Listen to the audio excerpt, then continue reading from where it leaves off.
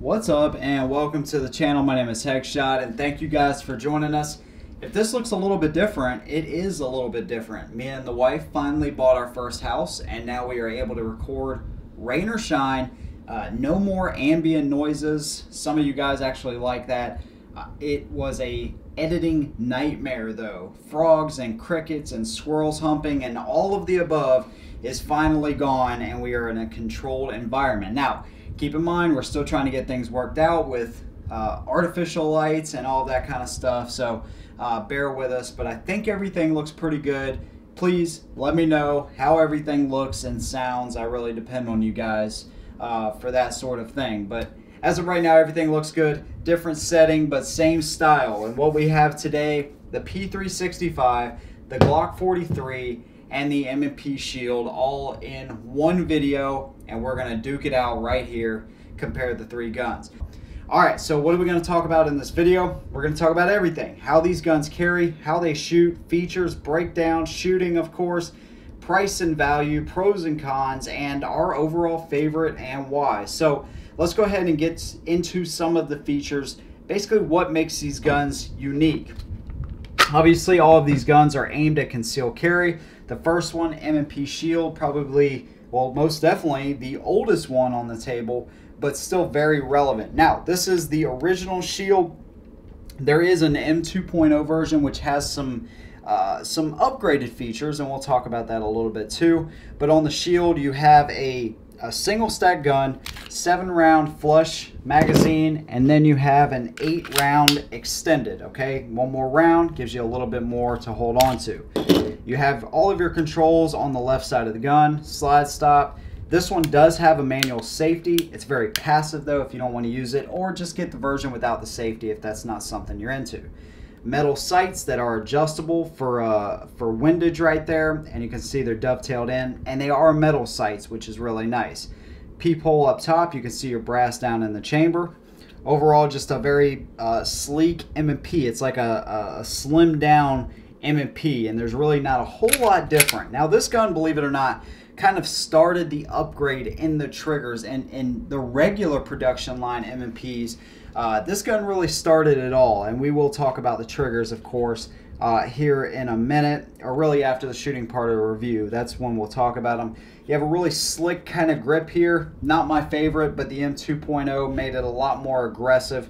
Um, and if that's something you want to go with, it's not that much more money and it might be worth it. But this is the base gun, um, and it is still very, very comparable to the rest of them. So that's pretty much the features on the M&P Shield that really make it stand out.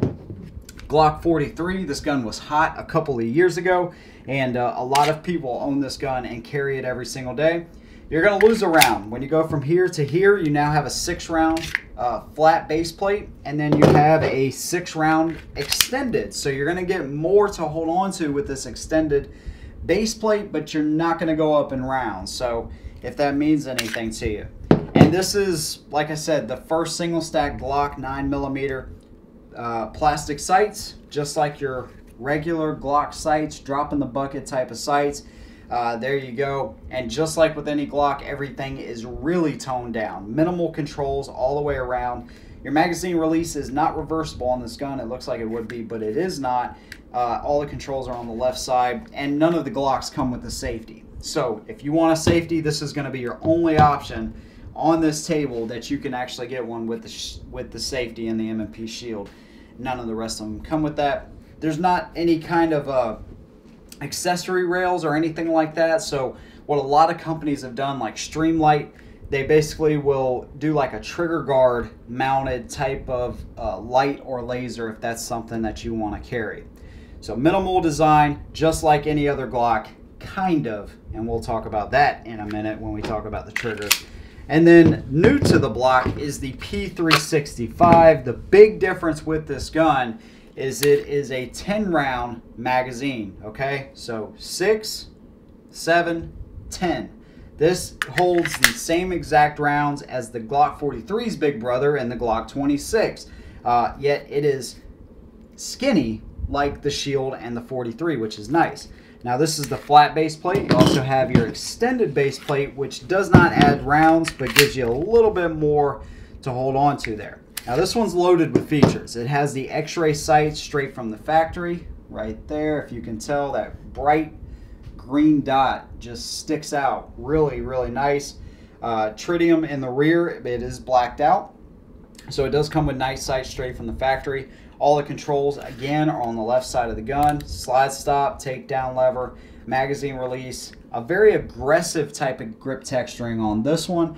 Uh, and man, it really locks in your hand. This is something I'm big on. We're in South Carolina. We're sweating our balls off nine months out of the year at least.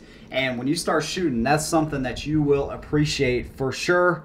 No manual safety. And this one does have a, a proprietary rail, so you could uh, run some attachments on there if you wanted to. These smaller guns, you know, to me it's not really necessary, but if you wanted to do that, you definitely could. A little bit of a finger groove, uh, yeah, kind of. You really can't call it that, but uh, just a little indentation really in the grip.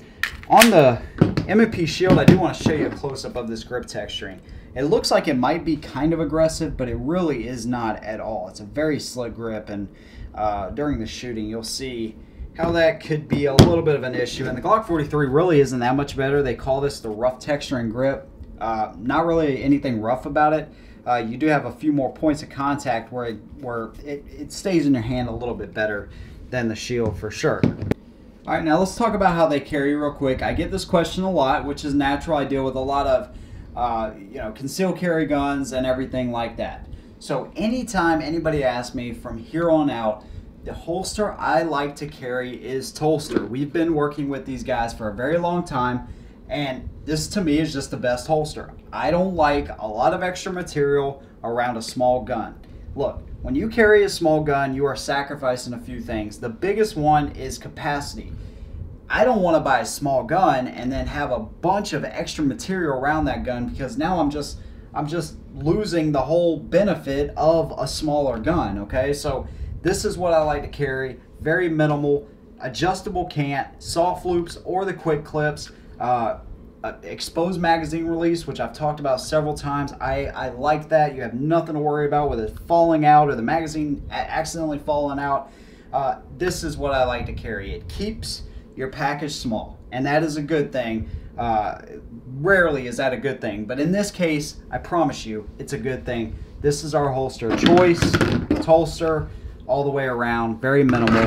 We'll get those out of the way. Universal magazine carriers they have a bunch of different things. Uh, I don't like a drawer full of holsters. I've tried a bunch of them, and that's what I like. Okay, as far as that. Now, how these guns carry, they are very similar. I mean, really, they're all skinny guns inside the waistband. This is going to affect uh, how much your pants actually are pushed out. All right. Um, not the biggest dimension, but you can see right there, they're very comparable, very close to each other. If we put the P365 up here, again, even though this is a 10 round gun, uh, it still is a very skinny gun inside the waistband. Now I'm going to throw some size and, and specs, maybe a few things up there. If you guys want to see all the specs, make sure you check out our individual reviews on these guns as well. But they're all really close in, in, in weight and all of that kind of stuff each one of them carries very well. Where you will see a difference, hopefully, actually, you'll never see a difference in this, but what really matters with these guns, because they all really do just carry very well, is the round count, okay? From 6 to 10, okay? You have a pretty big jump there. It doesn't sound like a lot, but you're, you're talking about a, a pretty significant difference when it comes to these kinds of guns, or seven with one in the chamber and 11 with one in the chamber. We always recommend doing that and being safe, of course, but uh, you have a pretty big jump from four, three rounds, uh, three to four rounds with these kind of guns is very good. But they all carry well. You just want to get a good gun belt and a good holster. Inside the waistband carry is our preferred choice. It's the quickest uh, for us, and I think it is the best option. So they all carry very well. What about the way they shoot? Of course, we will do a shooting part of the review just to kind of give you an idea, um, and we'll talk about that afterwards. Uh, size, weight, and capacity, we kind of touched on that a little bit. Uh, the size of the guns is very, very comparable to each other. So we'll put the P365 on top because it is a very small gun. You can tell right here in the front, it's a little bit shorter. and it's a little bit shorter in the grip and in the barrel there. What SIG did with this gun is they designed it around the magazine. They didn't design the gun and then put a magazine in it. They designed this whole thing around the magazine. You can tell how it tapers right in this area. It's kind of wide down here. It's kind of one and a half stack, and then it leads into a single stack. It's a it's a really neat design, and I'll be honest with you, with the single stacks that are on the market now, they'll probably still do really well. But with the P365 and the amount of rounds they were able to get out of this small little gun, I think more and more companies are going to start going to that uh, that particular model. Other companies will figure it out and and kind of you know squeeze more and more rounds out of these things for sure. We'll put the Glock 43 on top of the shield here, and you can tell the Glock 43 is just a little bit shorter in the grip and they're about the same length in, in barrel length and all that. So these guns are, are very close in size. And then if we do the same thing with the P365 on top of the Glock 43, nothing scientific about this at all, but you can tell the Glock 43 is a little bit longer in the grip. Doesn't mean anything as far as that dimension. And they're almost identical in grip length. All right, what about price and value? Because this is where it starts to get a little bit more spread out. The M&P shields have always been a value-based gun, okay? 300 bucks, 325 bucks most of the time if you do a little bit of shopping around, you can get these guns through Smith & Wesson, lifetime warranty, two magazines. This is the best value on the table, hands down. So if you're on a tight budget, uh, I see no reason with you not going with that with the shield. It's just awesome, especially the M2.0 version. Glock 43, when these first came out of the gate, they were six and seven hundred dollars, and that is no lie. Now everything's calmed down. You can get these most of the time for four and a quarter, 400 to 450 bucks, let's just say. And the P365 was really no different than the Glock 43. When it first came out, people were like, oh my God, this, the, the size of the gun, the, the, the round count, this is amazing. They were very hard to find uh, for a lot of people, and they were 550, 600 bucks easily right out of the gate. Now 450 to 500 bucks. So it definitely is the most expensive option on the table, and some people just don't have that. I mean, you're talking about the M&P Shield at 300 bucks. You can get yourself a Tulster holster with the discount code, of course. Make sure you use that. A gun belt and some ammo, probably for the same price of the P365. But this gun does have some benefits uh, that we will get to very shortly, I promise you that. Now, one thing I didn't mention as far as on the P365, it does have the front slide serrations. So if you like to do press checks or anything like that, it's going to give you a little bit more to hold on to as opposed to the Glock 43 or even the original Shield. Uh, it's very slick like that. The M2.0 actually, they do put little small serrations on the front. They don't go all the way to the top, but you do have a little bit more to bite onto with the M2.0. All right, so let me show you how these things break down. We'll do a little bit of shooting. Then when we come back, we'll do triggers and pros and cons. So on the Glock, pretty straightforward. Drop the mag, make sure it's clear, pull the trigger, lock the slide to the rear, pull it off. Dual captive recoil spring, polymer guide rod on the shield, drop the mag, make sure it's clear, lock the slide to the rear, rotate your lever down, pull the trigger, and it comes off. Dual captive rod, guide rod again, and a uh, metal guide rod. And then the P365, drop the mag, make sure it's clear, lock it back, rotate this down, slide comes off, dual captive recoil spring, and a metal guide rod. So internally, they're pretty much all the same. I don't have to break them down from here. You guys kind of get it, but they all they all look very similar on the internals. The SIG does have uh, uh, metal rails here. It just extends further out where the other two kind of have, you can see your points of contact there. And then on the shield, they do have a little bit beefier rails uh, right there. So a little bit different, but, but not too much. Now the SIG, whenever you put this one back together, you want to push up on the slide stop and rotate the lever down, otherwise it won't let you get the slide all the way on there. Line up the slide, lock it back, Rotate it, you're good. On the M&P. Push this one straight back. You gotta make sure that you get it lined up all the way. Just like that. Rotate it. You're good. And then the Glock. Just like that. Okay? So, let me take you guys to the range with us. We'll show you how they shot. Then when we come back, we'll talk about pros and cons. We'll look at those triggers and our overall thoughts on these three firearms. We'll see you guys in a minute.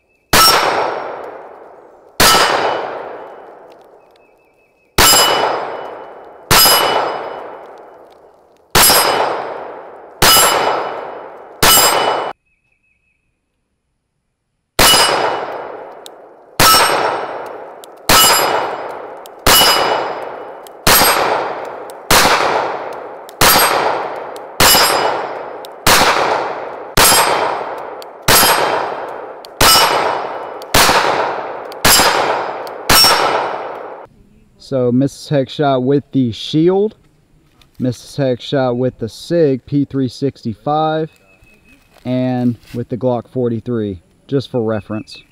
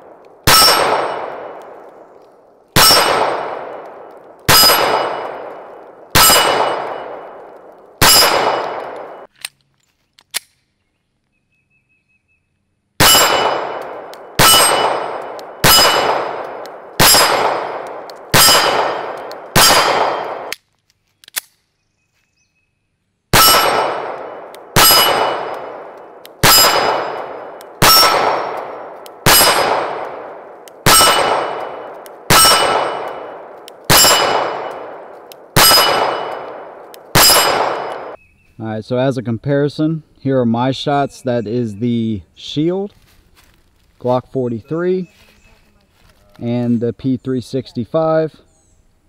My Glocks, my, my shots with Glocks always open up, but for self-defense purposes, um, all three of these would be definitely acceptable. All right, so day two of our three gun comparison. The SIG P365, the Glock 43, the M&P Shield. Two uh, extremely hot concealed carry pistols.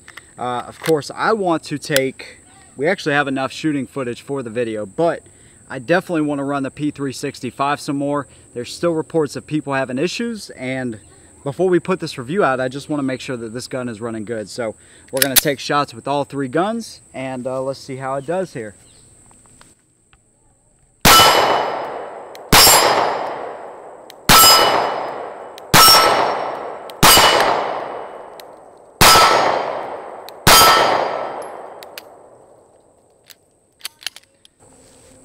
All right, the M&P shield.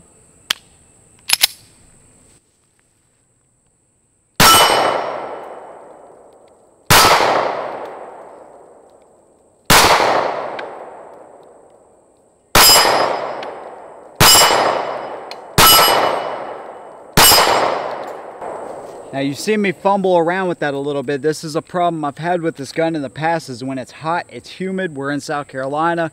This is how it is most of the time. The grip texturing on this gun is so slick, and I talk about this a lot, but it's very important.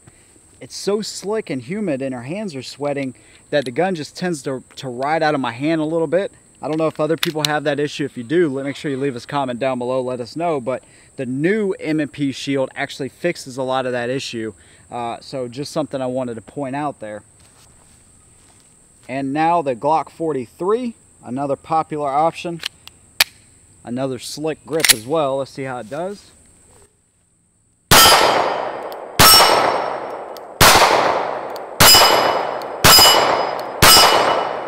a little bit better, stays in my hand a little bit better anyways. So Mrs. Hegshot's gonna load up and she's gonna take some shots and we'll see what she thinks.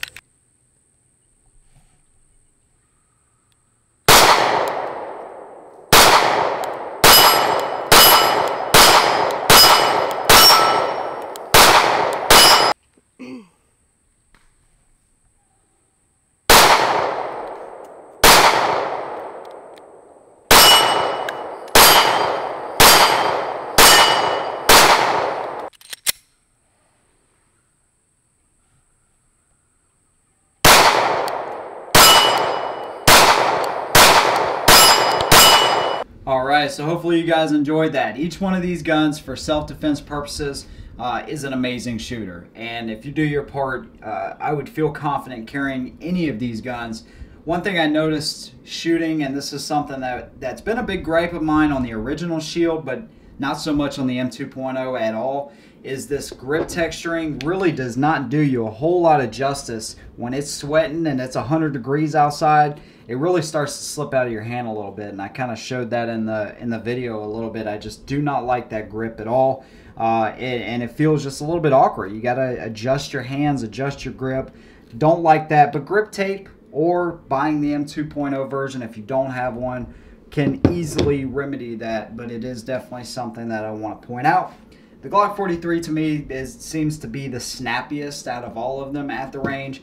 Uh, you do have that one less round but any of these guns, when you take them to the range, what, what I really like about these guns is that all they are, although they are single stacks, they do very well at the range. So it's not like if your buddy calls you and says, hey man, you want to go shooting and this is the only gun that you have, you feel like you're going to just have a horrible time. I mean, they really are a lot of fun to shoot, which is a benefit. The problem is, is that you're going to be reloading a lot. And Obviously, having four more rounds in this gun than the Glock 43 is definitely a benefit. Um, and this one having seven rounds, you're just going to be reloading a lot with pretty much all of them. Uh, but this one, you can you definitely get those few more rounds and it's a little bit more enjoyable at the range. But self-defense is where these guns shine. Obviously, you want to shoot your gun a lot, your self-defense gun a lot. Uh, and that's just something to keep in mind. They all do a really good job uh, when shooting. Now, Side note, because I know it's going to come up, I have not had any problems with my P365. As a matter of fact, we had enough footage to really do this review uh, after a couple times going out, but we wanted to make sure that we shot this one again, put some more rounds through it, and made sure it did fine, and I still have not had a single issue. I did have the uh, the primer or the striker drags on the back of the casings that I'm showing you right here. Uh, but I still haven't had a single issue out of it, and I've been carrying this gun now for, for a couple months. Alright, let me show you guys the triggers here really quick. Unfortunately, I won't be able to show you the weights, but you can go back and look at our original reviews to see the weights on them. Somewhere in moving, we lost our uh, trigger gauge scale. We'll have to have to find one or come up with another one, but let me at least show you how the triggers look. On the Glock 43, you do have that dingish right there. You hit the wall, a little bit of creep in the trigger, and then it breaks. This one does feel like the heaviest out of all the pulls, so it's not just like any other Glock you've ever shot. Uh, it is a little bit heavier. Reset, a little bit of creep, and it breaks. The shield, you have the hinge design, basically works the same way as the 43, just a little bit different in design. You hit the wall, Nice clean break on it. The reset, you hear that? That gets us every time on this gun. And it is a ghost reset, as I like to call it. That's the actual reset. Uh, this gun actually did start the M&P line. They started putting better triggers in their whole lineup after this gun, but that little ghost reset, that's the actual reset, okay? So it gets us, it will show us when we're flinching, and it has got me several times. And then the SIG, nice clean break all the way through. There's your reset. Very short travel on this gun. It doesn't come all the way back like these other ones do, but uh, each one of them has a decent trigger for smaller guns like that, which is uh, pretty cool. So, pros and cons. Let's start with the Glock. Pros. The small size, weight uh, is fantastic. And, and really the size to weight capacity ratio has really been unmatched with Glock. With this one, I can't say that because this one is, they're basically the same weight, but this one holds more rounds. Uh, but still, it's got a good size if you wanted a pocket carry or something like that. Uh, they've come down in price now, and if you just like Glocks, I mean, this is going to be a really good option. Reliability is uh, pretty much, you know, unmatched. I mean, I'm not a Glock fanboy by any by any means, but uh, they've had their issues in the past. But really, Glocks in general, uh, for the most part, are very reliable, and that is obviously the best thing, uh, the mo- the most important thing for any firearm. Uh, the M&P Shield, when it comes to value, none of these other guns really compare to it because you get lifetime warranty, Smith & Wesson, metal sights, two magazines, uh, just an over. It really has been the standard in concealed carry, and I think to this day, uh, it really is still uh, one of the top three at least. I mean, that's why I'm showing you these. I, I could have tried to get any other ones that I that I wanted to, but these three guns are just really uh, for concealed carry, just some, uh, just three of the best, and and I definitely still put this in the top three. Uh, side note, I'd go with the M2.0 if I haven't uh, been abundantly clear in this video about that. I think the upgrades that they've done are just amazing, but uh, if you have one of these, you know what I'm talking about. It just it carries well, shoots well, and it's a great value. The P365, I think the uh, this 10 round magazines out of this gun is, is just fantastic, man. I really am impressed, still impressed with what they've done with that.